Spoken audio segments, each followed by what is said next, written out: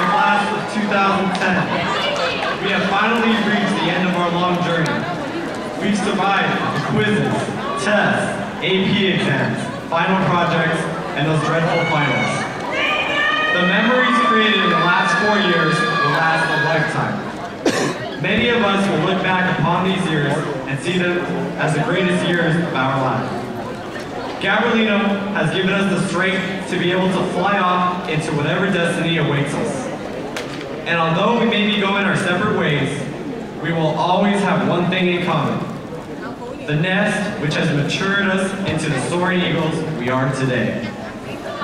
Eagles, I stand here before you with all the confidence in the world that we are ready to spread our wings and leave the nest to achieve all that we can be.